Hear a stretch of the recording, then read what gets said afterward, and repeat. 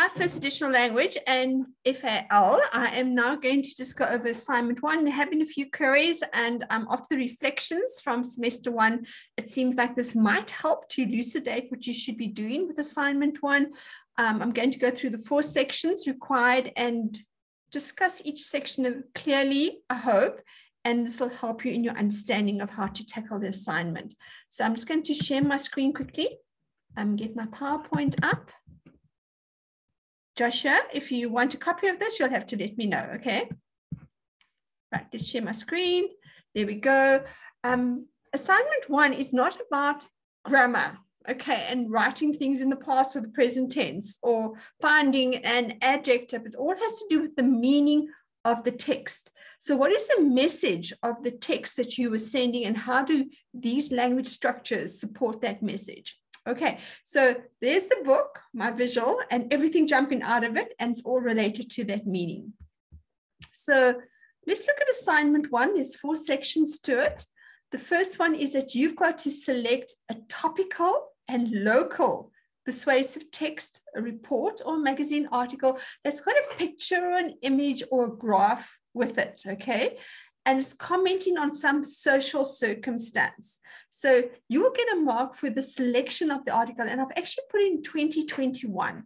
I want it local, it must be South Africa, and I want something that's been written this year. Um, that's going to force you to use articles, download them, and not go to past papers. So I'm going to try and make that quite specific. It can't be something that happened 10 years ago. It must be something that's happened in 2021 so far. It must be local, South Africa, and there must be a, a persuasive message. There's so many things happening that's trying to persuade the reader to be vaccinated or not be vaccinated. So these things are happening all the time.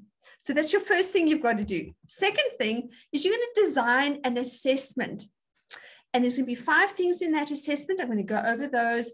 And you've got to be cognizant of the cognitive thinking levels.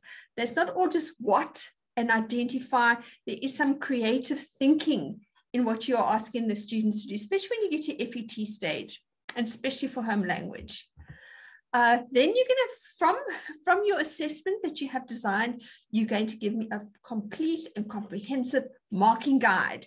Um, all the things that we discussed in semester one with your assignment three apply here, that I must be able to mark that assignment, that assessment quite easily by working through your marking guide, that I will know what the marks are, the total marks. I will understand how to apply the marks. So it'll be very clear for me when I go to mark your actual assessment and one of your markers. So I must be clear when, with everything how you've addressed it in the marking guide. Then finally, it's the reflection part. You're going to have to write a little paragraph on whether you should teach grammar implicitly. That means allowing them to discover. And I discussed this in my week two um, integrated grammar um, teaching video, where you can have both. Sometimes you can go implicit and then you can back up with, with work on it, applied exercises, or you can do it explicitly and then also relate back to the text as well. So I want your comment on that. And then give me five grammar teaching principles, okay? What you should do when you're teaching grammar. And then give me an example of how you could do this. So if you say, um, for instance, that you should, um, oh, I'm just trying to think of a grammar example. Uh, you you must have it related to a text. So when you you don't teach grammar that's not integrated it mustn't be isolated. It must be related to a text of reading listening speaking or um, what's the other one? Writing okay. Um, and then you're going to give me an example of how this can be done. All right so let's look at assignment one, and we're going to go through this looking at the text first. The first thing you've got to do is go and choose a text. It's local, it's topical, it's interesting, it's persuasive. Okay, there's a visual element to it a picture, a cartoon, a graph, something that's visual, and there is a social message. And this was all in my um, week two um, video as well. Speaking out against poverty and inequality, equality and diversity, these are all social topics. My body is not your crime scene, COVID, injections, jabs, sanitizing, mask wearing, all those things. So you'll select your topic that's persuasive, that's got a visual element, um, that's making a social comment. And I went to Google, my good friend Google, and there for South Africa, there are loads of texts that you could use um, from economic reconstruction and development, um, right to COVID 19 issues, to poverty, to discrimination and equality, to education, to conservation and pollution. Things that you're interested in, go and search, use the word report with it, South Africa, and you are going to get many, many articles, especially on News 24. There are loads of them. Okay, we're going to rescue our country. As you can see the flag on the lifeboat and the life tube. Okay, and here's another visual here we've got, we choose education, not poverty. And this could be also related to your topic. I went to Google quickly this morning and um, this is what I found. It was about 25 minutes before today. This was one of the headings. Schuur Hospital Board condemns anti-vaxxers disrespectful, demoralizing sentiments. And there's a visual that you could use in your text, and there's a text underneath it. This was another one on News 24. POTUS killing dehorn two white rhinos on a Free State farm, and they injure a third. So if you're interested about conservation, this would be the type of um, article you would choose. Um, and there's your visual as well. And then there's the article underneath it. Your social issue is very, very important. So it must be something you're passionate about. I think that's when you can really write well about something. So you've got your text now and you've got your visual. Now you're going to design your assessment and you're going to have to have five things in your assessment. You can have something about visual literacy and we'll look at this just now.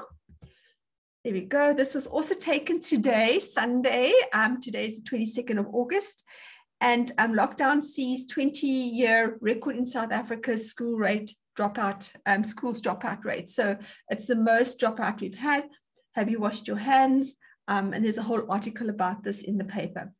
You are now going to design questions relating to the visual literacy and how it supports the message of the text. You will look at things like the angle of the shot, you look at the um, the focus of the shot, the color, and we can see they've got their faces blanked out. You can see they were in school clothes.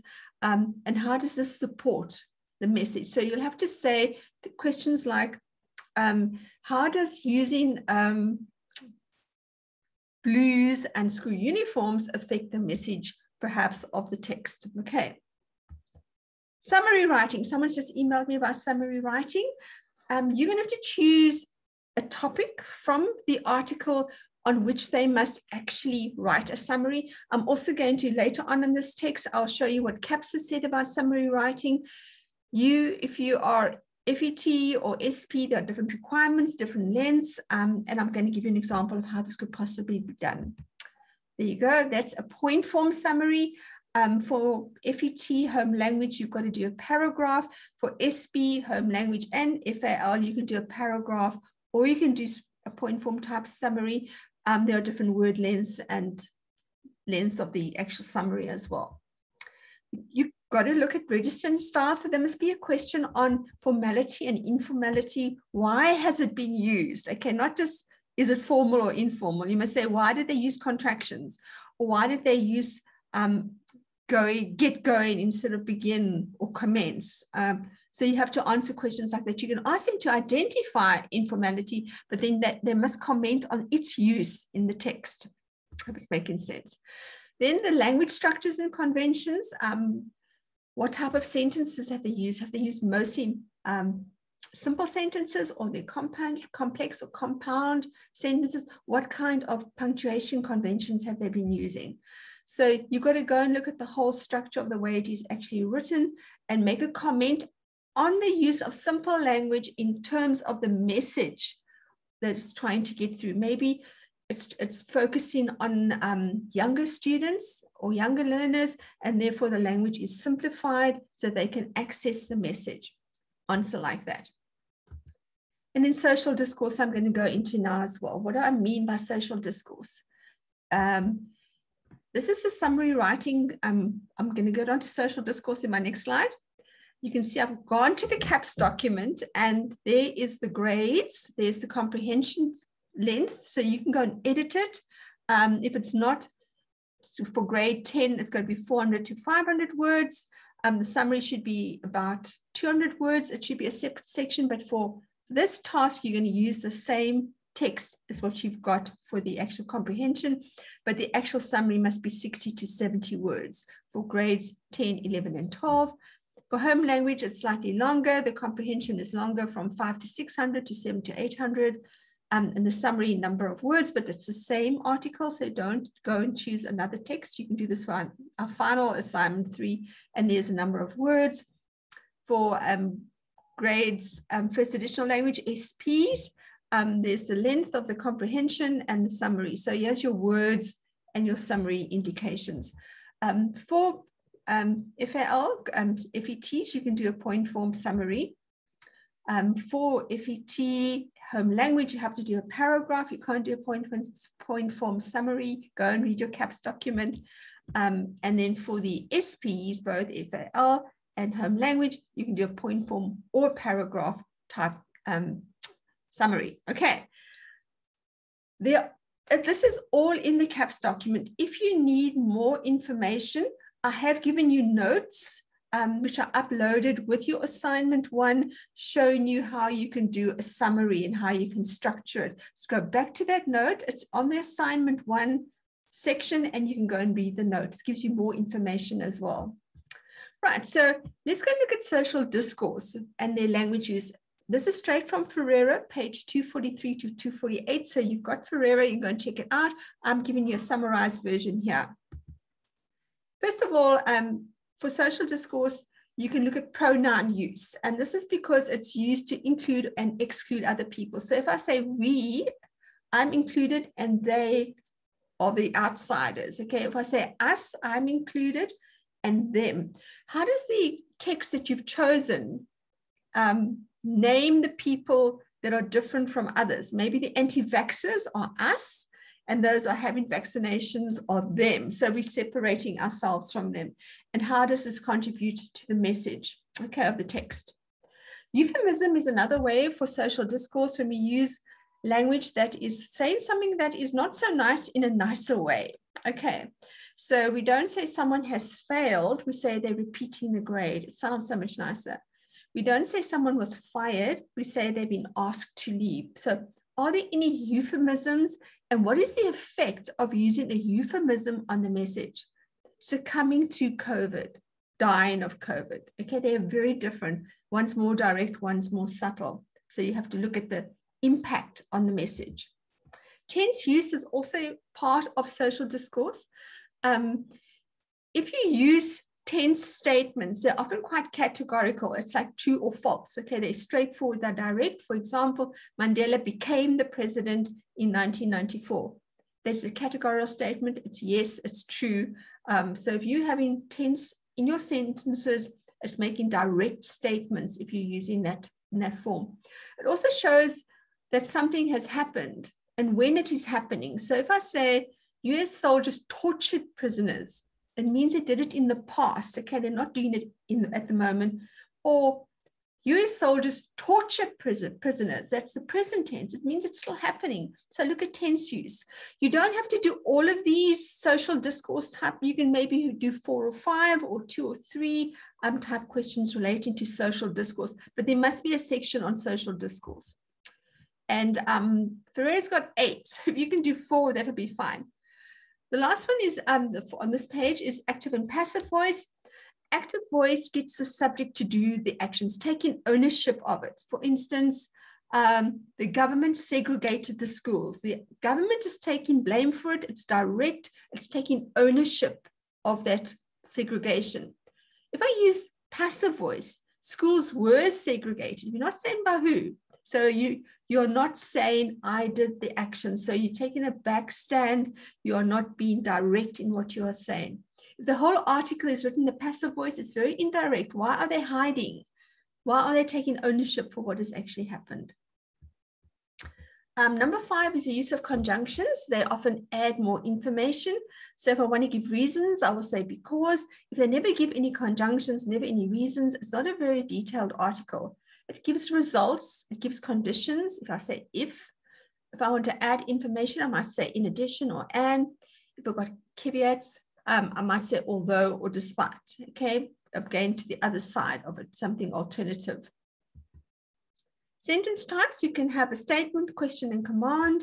Um, if they're using a lot of question type information, if they're using a lot of statements, they're using command type sentences, these have an effect. So for instance, if I'm using statements all the time, if I'm the writer or the speaker, I'm giving out the information. So I'm powerful. But if you're the reader or the listener, you are needing that information. So you're not as powerful as me. Okay. If, however, there's a lot of questions in it, it means the writer or the speaker needs information. Well, the reader or the listener has the information. So if there's lots of questions, it's often meaning the reader has got the power. Commands, the speaker or the writer is powerful. Okay go and do that. I've got the power, I'm making you do it. But if you're the listener, the receiver, or the reader, you can be ordered. You are less powerful than I am. So just check the kind of sentences that are being used. Naming is how we name people and their actions and how we describe them. Um, these names often identify, give them an identity, the people, and their background to do something about where they come from. For example, Let's look at Obama, Barack Obama. This is an example from Ferreira, so you can go and read about it yourself. You can call him a US president. You can call him a family man. That's so different to his identity and his background. A smoker. Why would you call him that? Okay, there's, there's a social message coming through. Not black enough. Okay, also a social message. Fifth, black American senator. Different ways you can label people, and this puts their identity on them. And the last one is the visual aspect, which is your visual literacy part. Look at the shot angles. Is a high, low, side, wide type of shot. What are the, what is it, a close-up, a medium, a long shot? Is the focus sharp or is it soft? What is the colors being used? Um, what are they wearing? All the visual parts of it. And this creates a version of the subject that you want the reader to have. So there's eight of them, all from Ferreira, which you can use for your social discourse. Okay, this was a picture also taken today from Times, um, no, UNICEF, saying how children are being affected by COVID. If you look at the actual visual for this, you can see that the background is blurred out so that you can focus on these two schoolgirls, I think. The one is wearing casual clothes, the one is looks like she's wearing a tracksuit, which might be a school uniform. They're both wearing masks. Um, she's got chips in her hand, but she must be eating somehow. Um, and they are looking at each other. One's wearing glasses, what is being captured in this picture with the whole article about how much our students' lives have changed. Okay, and this will be related to the message of the article that you've chosen as well. Here's an example that I quickly did this morning. Um, lockdown sees the, the, the, previous heading I gave you. Lockdown sees 20 year record in South Africa schools dropout rate. And here's the whole article. I just cut a section of it. And you can see here's the tense use. Um, this is Mazwindala Langa sat on a bunk stool in his yard of his Orlando East home, soaking up the winter sun on Friday afternoon. Okay, he sat, that means it's present tense. This is happening to him. Um, he was soaking up the winter sun. It's, it's now quite cold at the moment, so we know this is August. Um, it's setting him, the tense is saying what's happening now. He's not at school, He's still at home. Okay, that's tense use. Then we can name him, and this is how we provide his background and his identity. And here we have him, he's 17 year old, he's a grade eight pupil, he's at Orlando High School. How does this affect the message saying that there's a dropout rate? Saying here is someone of 17, he's in grade eight, and he's one of the dropout people um, statistics. And this shows that it's a very sad case, I think, that's happening and he's still sitting at home um, instead of continues education and perhaps progressing onto the employment market.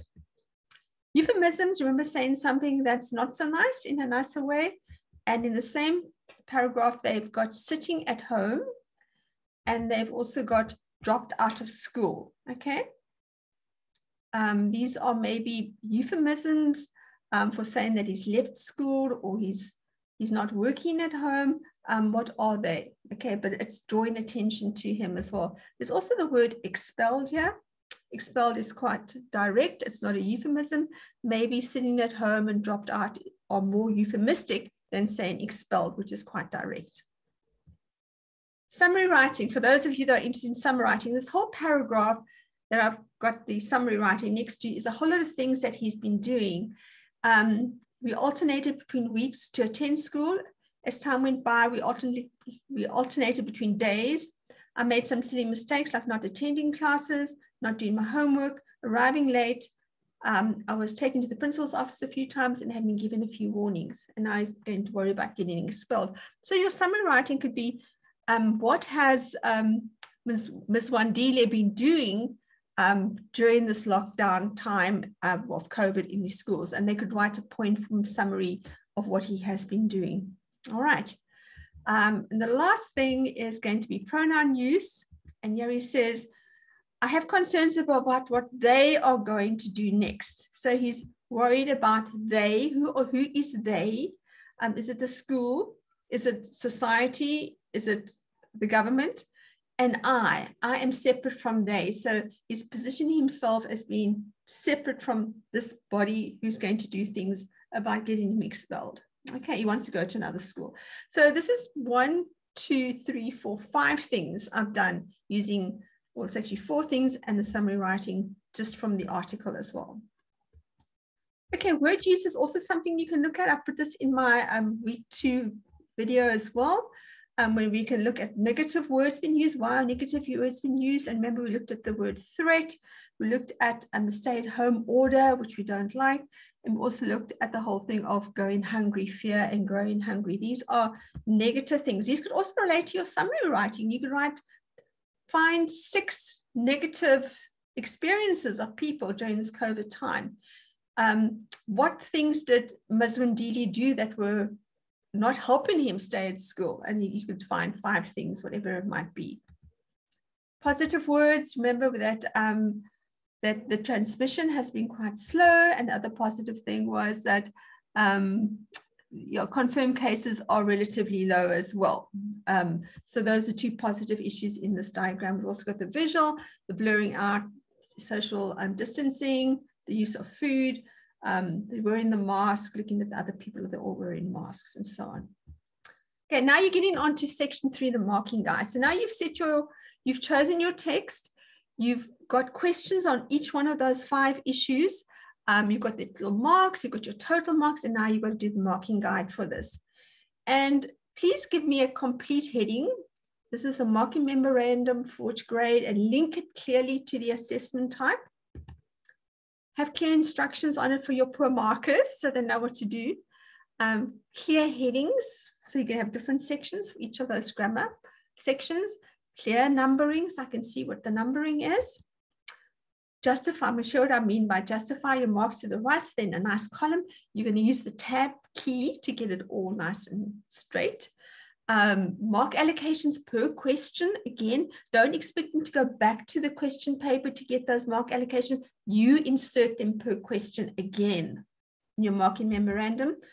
Also put in little text to show which words or which phrases or whichever it might be will receive a mark. Don't group all the ticks together so if it's for three marks, you put tick, tick, tick. You've got to show specifically on the text where the tick should be. Or if you don't want to use ticks, use little marks, things of one in brackets. That's also fine, as long as you show how the marks are allocated. Please, if it's just one word, don't give two marks. It's crazy. It's one word would be a mark. Don't don't load the marks like that. Okay, be very careful of that. A lot of you were giving like masses of marks for just saying one little thing. Um, just remember also your categorical questions like yes, no, if you got those. Um, are you going to have your jab? That's just one mark. And then ask them to explain the answer. Those are the ways you get the extra two marks. Okay, um, if you've got suggested and open answers like um, that yes, no, I've just mentioned now, um, please give suggested answers as well, things that they could say, because I'm scared of the vaccination, because I'm scared I'm going to die, because I've just had COVID. Those could be different answers for not getting the jab. Okay. And then provide the total marks at the end as well. Maybe you can have it at the end of each section and at the end of the whole assessment. Right. Um, this was also taken from how you could do um, assignment three last semester. I gave you the template um, where you've got the heading, the reading activity, the topic, the grade, you've got the instructions, um, then you've got the reading part, you've got the paragraphing indicated or the lines indicated. Remember, um, you've got to use in-text citations. And I'm saying this again, although there is a link there, it is not the correct way to in-text citation. You've got to put this the um, writer's name and the date, or if you haven't got the writer's name, it's the topic. So it'd be crimes which shook the nation, and in brackets you'd have 2019. Okay, that would be the correct way to cite um, an in-text citation. If you're not sure, there is on the opening welcome part of ECI, you can go and check what the conventions are. And then the questions as well. You've got a heading which says questions. You've got a numbering system going down the left. You've got your mark allocations all under, under each other, beautifully laid out on the right. It makes it look professional. Um, let's have a look. You've got your marks in brackets. You've got, sometimes you might have one plus two because you've asked them, what is your opinion on Sandisili's sentence, line 11?